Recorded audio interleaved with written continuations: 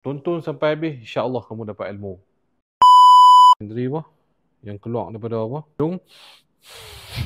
Hidung. Hmm, hidung, hidung. Tepuk dah. Lapik ke tepi, kita tepuk. Untuk bagi dia keluar balik semua. Ilmu dia tuan-tuan, Hani Zain ajak satu ilmu untuk orang yang ada anxiety dan vertigo. Ha, yang rasa pening-pening. Okey, saya nak ajak dua benda saja. Tuan-tuan boleh buat buat urut. Tak payah baca baca apa pun. Pertama sekali, tuan-tuan tutup mata tuan-tuan, ambil jari tuan-tuan ni, letak di kawasan ni. Ni, ni kita ada cuping telinga apa ni apa ni? Anak telinga kita ni. Letak dia anak telinga kita dua-dua belah.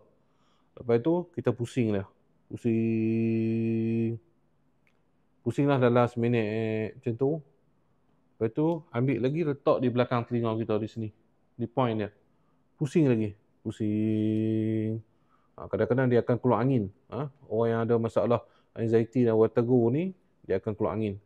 Lepas tu, terlepaskan dah. InsyaAllah, amalkan selalu insyaAllah. Untuk stabilkan balik ha? pandangan kita supaya kita tak pening selalu. InsyaAllah, sharekan video ni sebanyak mungkin. Like, follow. Semoga video ni bermanfaat untuk semua. Assalamualaikum.